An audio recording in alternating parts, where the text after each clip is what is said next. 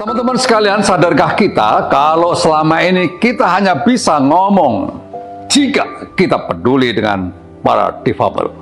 Tetapi kita tidak pernah tahu bagaimana kehidupan sehari-hari mereka. Mereka tidak pernah mengeluh, meratap, bahkan merengek.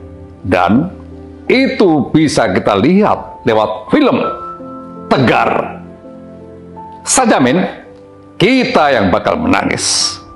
Menangis karena ketidakpedulian kita selama ini, Anda akan lebih tahu lebih dalam tentang siapa Tegar.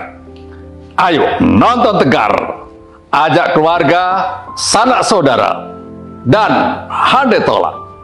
Film ini akan membuka mata kita tentang kehidupan saudara-saudara kita, para difabel. Untuk itu, saya tunggu di gedung bioskop terdekat.